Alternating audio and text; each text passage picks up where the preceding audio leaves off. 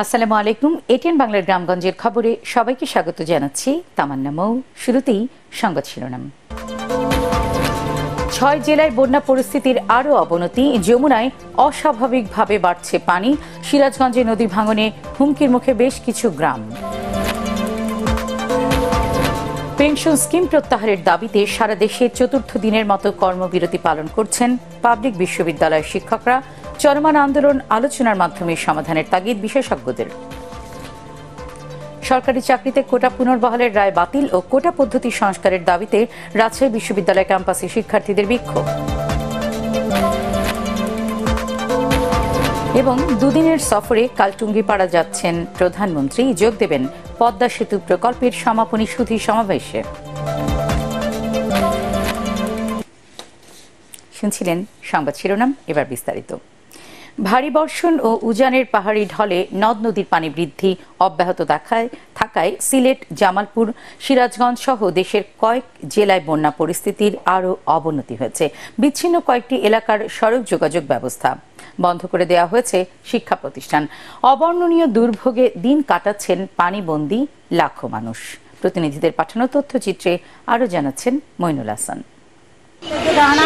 জামালপুরে গত চব্বিশ ঘন্টায় যমুনা নদীর পানি বাহাদুরাবাদ ঘাট পয়েন্টে বৃদ্ধি পেয়ে বিপদসীমার উপর দিয়ে প্রবাহিত হচ্ছে। এতে জেলার ইসলামপুর, দেওয়ানগঞ্জ ও মাদারগঞ্জ সহ দশ ইউনিয়নের নির্মাঞ্চল প্লাবিত হয়েছে। পানির তোরে দেওয়ানগঞ্জের কাঠারবিল বাজারের নির্মাণাধীন ব্রিজ ভেঙে কুড়িগ্রামের রৌমারী ও রাজীবপুর উপজেলার সাথে দেওয়ানগঞ্জের সড়ক যোগাযোগ বিচ্ছিন্ন রয়েছে। সিলেটে বন্যা পরিস্থিতি ভয়াবহ রূপ নিয়েছে। উজানের পাহাড়ি ঢল এবং ভারী বৃষ্টির কারণে নদ নদীর পানি বিপদসীমা অতিক্রম করে তেরো উপজেলা প্লাবিত হয়েছে।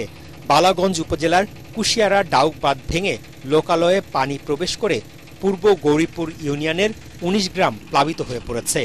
জকিগঞ্জ উপজেলার তিনটি বেড়িবাঁধ ভেঙে লোকালয়ে পানি ঢুকেছে। বিচ্ছিন্ন হয়ে পড়েছে বালাগঞ্জ ফেঞ্চুগঞ্জ সড়ক যোগাযোগ। জেলার প্রায় আট লাখ মানুষ পানিবন্দী। হবিগঞ্জের নবীগঞ্জ উপজেলার কুশিয়ারা নদীর পানি বিপদসীমার সাঁত্রিশ সেন্টিমিটার ও আজমেরিগঞ্জের কালনি নদীর পানি সত্তর সেন্টিমিটার উপর দিয়ে প্রবাহিত হচ্ছে। নদীর পানি বৃদ্ধি পাওয়ায় নতুন নতুন এলাকা প্লাবিত হয়েছে। পানিতে তলিয়ে গেছে মিঠা পানির জলাবন লক্ষ্মীবাউর দুর্বিষহ দিন কাটাচ্ছে পানিবন্দী অসংখ্য মানুষ। সব মিলে আসলে খুবই বাজে একটা অবস্থা। অনেক শিক্ষার্থী বন্ধের বাড়িতে আছে এবং এরা বিদ্যালয়ে আসতে পারতেছে না। উজান থেকে নেমে আসা পাহাড়ি ঢল ও ভারী বৃষ্টিতে সিরাজগঞ্জে বেড়ে চলেছে যমুনা নদীর পানি। সেই সাথে বাড়ছে অভ্যন্তরীণ সকল নদ নদীর পানীয় জেলার সদর, কাজিরপুর, বেলকুচি, চৌহালি, শাহজাদপুর এই পাঁচ উপজেলার চরাঞ্চলে ফসলি জমি প্লাবিত হতে শুরু করেছে। বন্যা ও ভাঙনে নদী পাড়ের মানুষের মধ্যে আতঙ্ক বিরাজ করছে। কুড়িগ্রামের সব নদ নদীর পানি বৃদ্ধি পাওয়ায় নতুন নতুন এলাকা প্লাবিত হয়ে পানিবন্দী হয়ে পড়েছে লাখো মানুষ। বন্যার পানি প্রবেশ করায় জেলার শতাধিক প্রাথমিক বিদ্যালয় বন্ধ ঘোষণা করা হয়েছে। বৃষ্টি ও পাহাড়ি ঢল না থাকায় নেত্রকোনার বন্যা পরিস্থিতির কিছুটা উন্নতি হয়েছে। তবে প্লাবিত এলাকাগুলো থেকে পানি না নামায় দুর্ভোগ কাটছে না দুর্গত মানুষের। Bureau report, ATN Bangla. যমুনায় অস্বাভাবিকভাবে পানি বাড়ায় সিরাজগঞ্জের শাহজাদপুর উপজেলার তিন ইউনিয়নে ব্যাপকভাবে নদী ভাঙছে। দু সপ্তাহের মধ্যে বিলীন হয়েছে শতাধিক ঘরবাড়ি। হুমকির মুখে কয়েকটি গ্রাম। অনেকে আতঙ্কে বাড়িঘর সরিয়ে নিচ্ছেন নদী তীরবর্তী এলাকা থেকে। সিরাজগঞ্জ প্রতিনিধি ফেরদৌস হাসানের পাঠানো রিপোর্ট, জানাচ্ছেন কেরামতুল্লাহ বিপ্লব।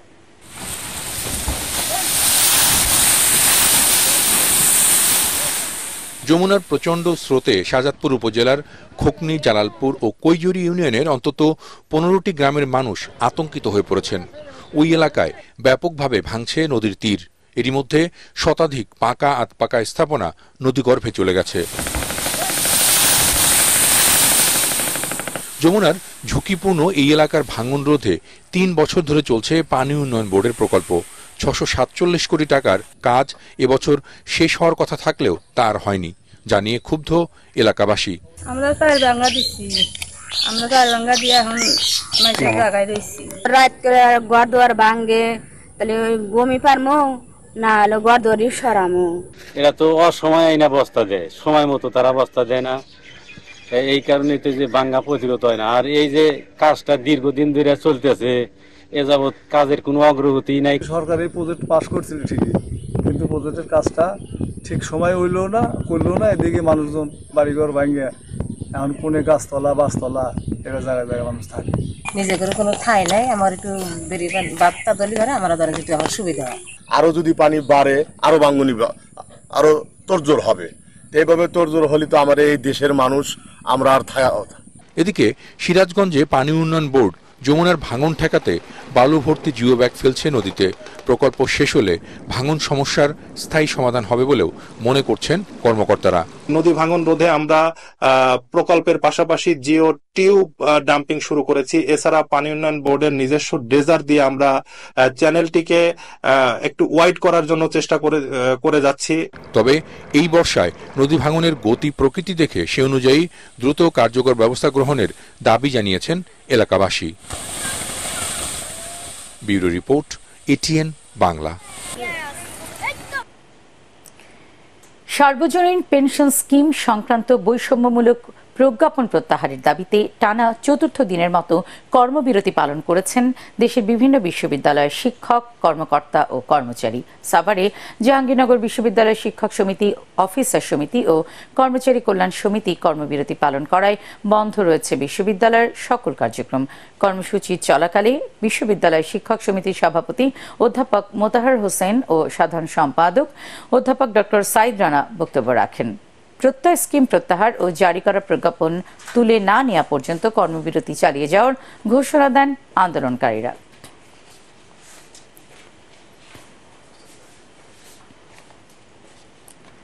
প্রত্যয় পেনশন স্কিম নিয়ে শিক্ষকদের চলমান আন্দোলন আলোচনার মাধ্যমে সমাধান করা সম্ভব বলে মনে করেন বিশ্লেষকরা। তারা বলছেন, টেকসই সমৃদ্ধির জন্য সংস্কারের প্রয়োজন রয়েছে। এদিকে মূল বেতনের দশ শতাংশ দিয়ে প্রত্যয় স্কিম গ্রহণ করতে পারছেন স্বায়ত্তশাসিত ও রাষ্ট্রায়ত্ত সহযোগী প্রতিষ্ঠানের কর্মীরা।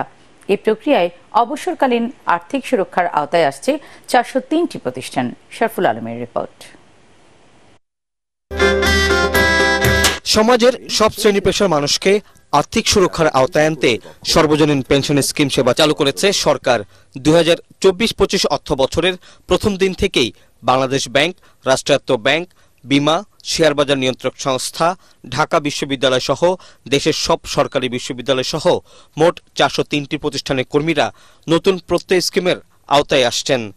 তবে তিরিশে জুনের আগে চালু হওয়া অন্যান্য স্কিম আগের মতোই চলবে। রিটায়ারমেন্টের পরে এককালীন একটা ভাতা পেতেন। সেটার ব্যাপারে এখানে কোনো কিছু বলা নাই। এটা হতে তাদের প্রধান চিন্তার কারণ হয়ে দাঁড়িয়েছে এবং কোনো কোনো ক্ষেত্রে আমি বলব যে এটা কিন্তু আসলে একটু যৌক্তিকতা আছে তাদের এই কনসার্নের উদ্বেগের। একটা ফ্রেমওয়ার্ক দেওয়া হয়েছে, সেখানে আলাপ আলোচনা করে আমরা কোনো মধ্যম গ্রাউন্ড আছে কিনা সেটাকে আমাদের কিন্তু খুঁজে দেখতে হবে। প্রত্যয় স্কিমে সংশ্লিষ্ট প্রতিষ্ঠান কর্মচারীর মূল বেতনের দশ ভাগ বা সর্বোচ্চ পাঁচ হাজার টাকা কর্মীর বেতন থেকে কেটে রাখবে আর সমপরিমাণ অর্থ দিবে ওই প্রতিষ্ঠান। তবে স্বাভাবিক নিয়মে অবসরের সময় এককালীন সুবিধা পাওয়া গেলেও প্রত্যেক স্কিমে এই ধরনের কোনো নির্দেশনা নেই। এ নিয়ে শিক্ষক সমাজে চলছে নানা আলোচনা সমালোচনা। চলমান শিক্ষক আন্দোলন আলোচনার মাধ্যমে সমস্যা সমাধান করা সম্ভব বলে মনে করেন বিশ্লেষকরা। যারা আন্দোলন করছে, ওনারা যে ইস্যুগুলো আনছেন, সেই ইস্যুগুলোর পরিপ্রেক্ষিতে আমাদের অবস্থান ব্যাখ্যা করতে পারি। বিষয়টা স্পষ্টীকরণের পরে যদি ওনাদের আরও কোনো জায়গায় অস্পষ্টতা থেকে থাকে, সেটা আমাদের নজরে আসলে অবশ্যই আমরা সেখানেও স্পষ্টীকরণের চেষ্টা করব। নমিনির যে আমি একটু পেনশনের টাকা পাবেন, সেটি যদি করা হয় এবং একই সঙ্গে যে বয়স সীমার ক্ষেত্রে যদি কিছু সমন্বয় করা হয়, বিদ্যমান যে সুযোগ সুবিধাগুলো রয়েছে, অন্যান্য, যে স্বায়ত্তশাসিত প্রতিষ্ঠানগুলোতে, তো সেগুলো বলবৎ রেখে যদি আরও কিছু সুবিধা বাড়ানো যায় আমি মনে করি যে যে সমস্যাগুলো রয়েছে বা যে বিতর্কগুলো রয়েছে সেগুলো আর থাকবে না এবং এই কর্মসূচিকে আসলে সবাই গ্রহণ করবে। শুধু রাজস্ব দিয়ে পেনশন নয়, বরং কর্মী ও প্রতিষ্ঠানের আর্থিক অবদানেই সবার জন্য আর্থিক নিরাপত্তা নিশ্চিত করতে পারে। আর এই ধারণা থেকেই পেনশন স্কিমকে টেকসই করার তাগিদ দিয়েছেন অর্থনীতিবিদরা। শরফুল আলম, এটিএন বাংলা, ঢাকা। সরকারি চাকরিতে কোটা পুনর্বহালের রায় বাতিল ও কোটা পদ্ধতি সংস্কারের দাবিতে রাজশাহী বিশ্ববিদ্যালয় ক্যাম্পাসে মিছিল ও সমাবেশ করেছেন শিক্ষার্থীরা। সকাল দশটায় বিশ্ববিদ্যালয়ের প্রধান ফটকের সামনে অবস্থান কর্মসূচি শুরু করেন তারা। ফলে রাজশাহী ঢাকা মহাসড়কে বন্ধ হয়ে যায় যান চলাচল। পরে বিশ্ববিদ্যালয় কর্তৃপক্ষ ও পুলিশের অনুরোধে আন্দোলনকারীরা সরে গেলে যান চলাচল স্বাভাবিক হয়।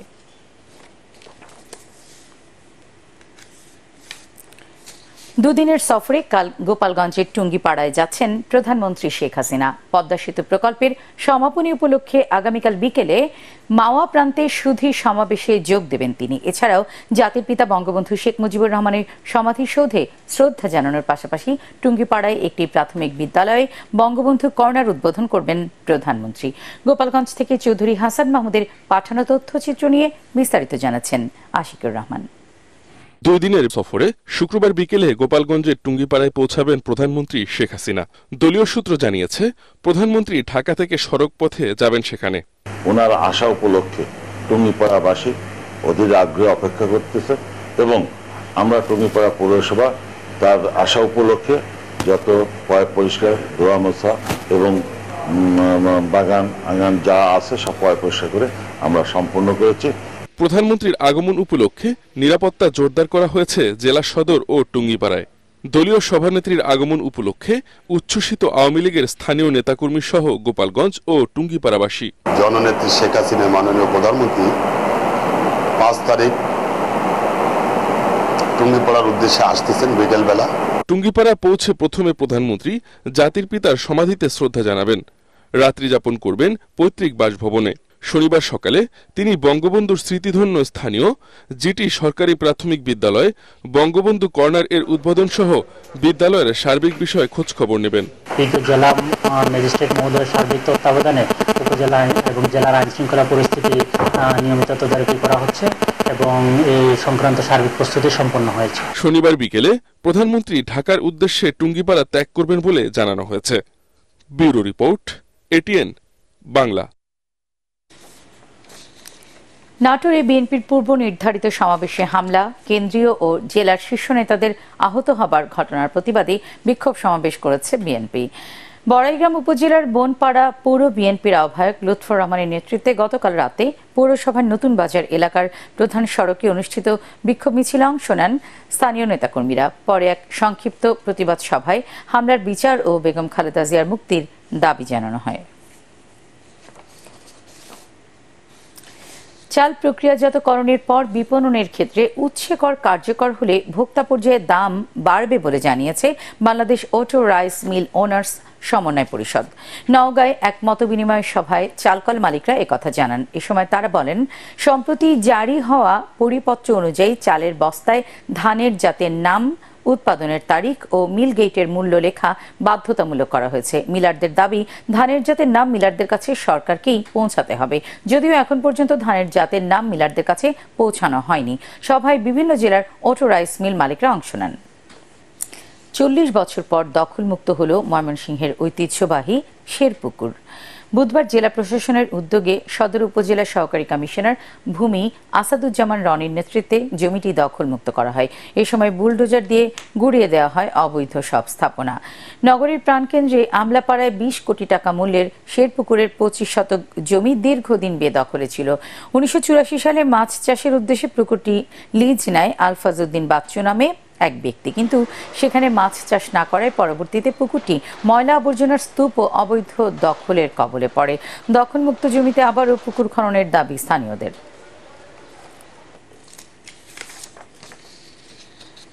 নতুন করারোপ ছাড়াই ঘোষণা করা হয়েছে ঝালকাঠি পৌরসভার দু হাজার চব্বিশ পঁচিশ অর্থ বছরের বাজেট। দুপুরে পৌরসভা কার্যালয়ের প্রস্তাবিত বাজেট ঘোষণা করেন মেয়র লিয়াকত আলী তালুকদার। এতে আয় ধরা হয়েছে একশো চুয়ান্ন কোটি সাতাশি লাখ সাতশো ষাট টাকা, ব্যয় একশো চুয়ান্ন কোটি বাহাত্তর লাখ চুয়ান্ন হাজার টাকা। জেলা পরিষদ chairman advocate Khan Saifullah Panir, panel mayor Tarun Kumar Karmakar, পৌরসভা সচিব শাহিন সুলতানা ও হিসাবরক্ষণ কর্মকর্তা মনিরুদ্দোজা হারুন সহ কাউন্সিলর ও কর্মকর্তা কর্মচারীরা এই সময় উপস্থিত ছিলেন। ডিমের বাজার স্থিতিশীল রাখতে ফরিদপুরে অভিযান চালিয়েছে জেলা ভোক্তা অধিকার অধিদপ্তর। দুপুরে শহরের চকবাজার ও হাজি শরীয়তুল্লাহ বাজারের ডিমের দোকানগুলোতে অভিযান চালানো হয়। এ সময় ডিমের দাম বেশি রাখা, মূল্য তালিকা প্রদর্শন না করা এবং পাকা ক্রয় রসিদ দেখাতে না পারায় একতা ও মিতালি ট্রেডার্সকে দশ হাজার টাকা জরিমানা করা হয়।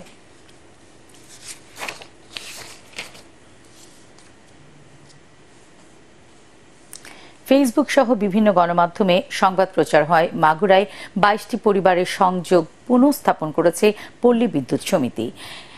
এক বিদ্যুৎ কর্মকর্তাকে লাঞ্ছিত করার অভিযোগে জেলার শ্রীপুর উপজেলার শ্রীকোল গ্রামের পঁচিশ পরিবারের বিদ্যুৎ সংযোগ বিচ্ছিন্ন করার ঘটনা ঘটে।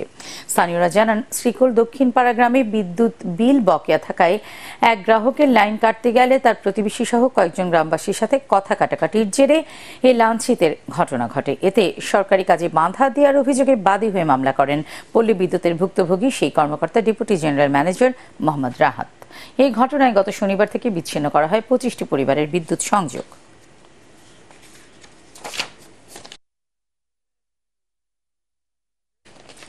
ঠাকুরগাঁওয়ে আগর গাছ থেকে পরীক্ষামূলকভাবে সুগন্ধি তেল বা আতরের কাঁচা পান উৎপাদন শুরু হয়েছে। শরীফ বিন রাব্বানি নামে এক ব্যবসায়ী পরীক্ষামূলকভাবে আগর গাছ থেকে আতর তেল উৎপাদন করছেন। ইতিমধ্যে তার আগর বাগানের সাতটি গাছ থেকে সত্তর মিলিগ্রাম সুগন্ধি আতর উৎপাদিত হয়েছে। যার বর্তমান বাজার মূল্য আশি হাজার টাকা। ইতিমধ্যে ওই আগরবাগান ও কারখানা পরিদর্শন করেছেন বাণিজ্য মন্ত্রণালয়ের উপসচিব মাজেদুল ইসলাম। তার মতে, আগরতেলের বিশাল আন্তর্জাতিক বাজার থাকায় এর সাথে যুক্ত হতে পারলে বিপুল বৈদেশিক মুদ্রা অর্জন করা সম্ভব হবে। জেলা কৃষি সম্প্রসারণ অধিদপ্তরের উপপরিচালক কৃষিবিদ সিরাজুল ইসলাম সহ অন্যান্যরা এ সময় উপস্থিত ছিলেন। প্রথম আলোর উদ্যোগে মেহেরপুর ও নারায়ণগঞ্জে এসএসসি এবং সমমান পরীক্ষায় জিপিএ ফাইভ প্রাপ্ত কৃতি শিক্ষার্থীদের সংবর্ধনা দেওয়া হচ্ছে। মেহেরপুরে জেলা শিল্পকলা একাডেমি মিলনায়তনে এই অনুষ্ঠানের আয়োজন করা হয়। স্বপ্ন দেখো, জীবন গড় এই স্লোগানে ও শিক্ষার ডিজিটাল প্ল্যাটফর্ম শেখর পৃষ্ঠপোষকতায় এতে অংশ নিতে জেলার জিপিএ পাঁচ পাওয়া তিনশো ষাট জন শিক্ষার্থী নিবন্ধন করে। অনুষ্ঠানে জেলার দশ গুণী শিক্ষককেও সম্মাননা দেওয়া হয়। এই আয়োজনে অন্যান্যের মধ্যে মেহেরপুর বন্ধু সভার সভাপতি ও মেহেরপুর সরকারি কলেজের সহযোগী অধ্যাপক আবদুল্লাহ আলামিন এবং প্রথম আলোর মেহেরপুর প্রতিনিধি আবু সাইদ বক্তব্য রাখেন। অনুষ্ঠানের মিডিয়া পার্টনার এটিএন বাংলা। নারায়ণগঞ্জে প্রথম আলোর উদ্যোগে কৃতি শিক্ষার্থীদের সংবর্ধনা দেওয়া হয়েছে। স্বপ্ন দেখো, জীবন গড়ো, এ স্লোগানে স্থানীয় সরকারি বালিকা উচ্চ বিদ্যালয়ে এই অনুষ্ঠানের আয়োজন করা হয়। এ সময় দশজন গুণী শিক্ষককেও সংবর্ধনা দেওয়া হয়। প্রথম আলো বন্ধু সভার নারায়ণগঞ্জ শাখার সভাপতি আফরিন সুলতানা জেনির সভাপতিত্বে অনুষ্ঠানে পত্রিকাটির ডিজিটাল ট্রান্সফরমেশন ও যুব কার্যক্রমের সমন্বয়ক মনির হাসান এবং সাংস্কৃতিক সংগঠক রফিউর রাব্বি উপস্থিত ছিলেন। অনুষ্ঠানের মিডিয়া পার্টনার এটিএন বাংলা।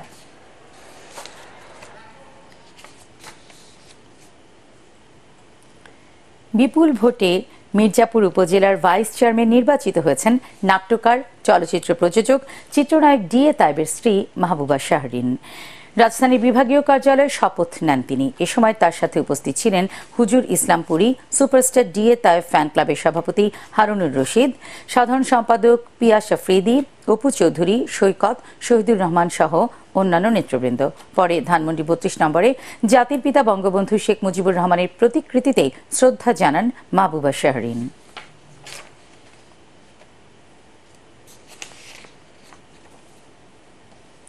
চট্টগ্রামে অনুষ্ঠিত হয়েছে মিডশিপম্যান দু হাজার একুশ বি এবং ডাইরেক্ট এন্ট্রি অফিসার দু হাজার চব্বিশে ব্যাচের গ্রীষ্মকালীন রাষ্ট্রপতি কুচকাওয়াজ। সকালে বাংলাদেশ নেভাল একাডেমিতে আয়োজিত কুচকাওয়াজে প্রধান অতিথি ছিলেন ভারতীয় নৌবাহিনী প্রধান অ্যাডমিরাল দীনেশ কুমার। এবার বাংলাদেশ নৌবাহিনীর দু হাজার একুশ বি ব্যাচের সাতান্ন জন মিডশিপম্যান এবং দু হাজার চব্বিশ ব্যাচের বারো জন ডাইরেক্ট এন্ট্রি অফিসার সহ মোট উনসত্তর জন নবীন ক্যাডেট অফিসার কমিশন লাভ করেন। এর মধ্যে নয়জন মহিলা মিডশিপম্যান ও একজন মহিলা ডাইরেক্ট এন্ট্রি অফিসার রয়েছেন। সেরা চৌকস মিডশিপম্যান হিসেবে সোর্ড অফ অনার লাভ করেন। মিডশিপম্যান দু হাজার একুশ বি ব্যাচের মিডশিপম্যান মুনকাসির আবেদিন আলভি। এছাড়াও নৌ প্রধান স্বর্ণপদক অর্জন করেন মিডশিপম্যান মোহাম্মদ তাওসিফুল হক ও বীরশ্রেষ্ঠ শহীদ রুহুল আমিন স্বর্ণপদক লাভ করেন। ডাইরেক্ট এন্ট্রি অফিসার দু হাজার চব্বিশ ব্যাচের অ্যাক্টিং সাব লেফটেন্যান্ট মোনাজাতি জান্নাত।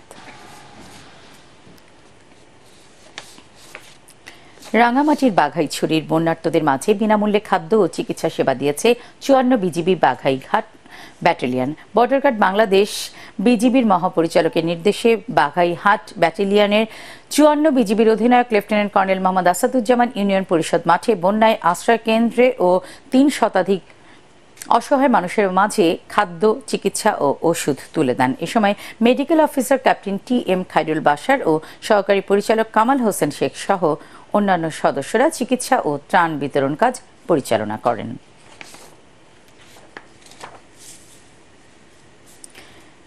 গণসচেতনতা সৃষ্টি ও সততা চর্চায় শিক্ষার্থীদের উদ্বুদ্ধ করার লক্ষ্যে দুর্নীতি দমন কমিশন ও জেলা প্রশাসনের সার্বিক সহযোগিতায় কিশোরগঞ্জে অনুষ্ঠিত হল দুর্নীতি বিরোধী বিতর্ক প্রতিযোগিতা ও আলোচনা সভা। কিশোরগঞ্জ সরকারি বালক উচ্চ বিদ্যালয়ে অনুষ্ঠিত আলোচনা সভায় অন্যান্যের মাঝে বক্তব্য রাখেন অতিরিক্ত জেলা প্রশাসক কাজী মহুয়া মমতাজ, প্রফেসর রবীন্দ্রনাথ চৌধুরী ও সিভিল সার্জন সাইফুল ইসলাম। পরে বিতর্ক প্রতিযোগিতায় অংশ নেন জেলার চারটি শিক্ষা প্রতিষ্ঠানের শিক্ষার্থীরা।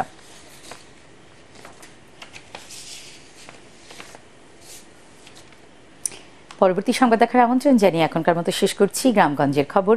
এটিএন বাংলা সংবাদ ইউটিউবে দেখতে ব্রাউজ করুন YouTube slash ATN Bangla news আল্লাহ হাফেজ।